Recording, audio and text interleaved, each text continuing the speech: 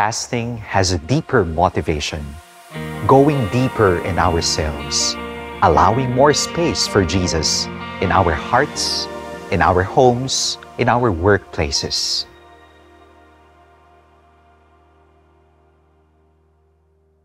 Healing does not only involve our physical well being, but our total well being. And that includes our emotional, our psychological, the relational aspects of ourself. This Holy Week, we are called to the discipline of fasting.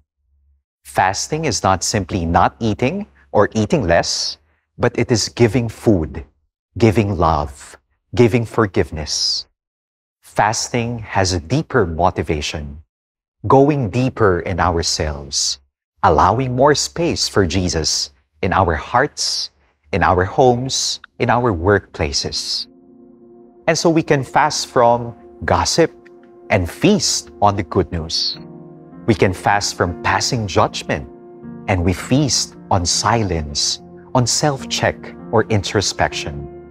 We can fast from discontent and complaints and feast on gratitude. We can fast from worry and anxiety and feast on deeper faith and surrender.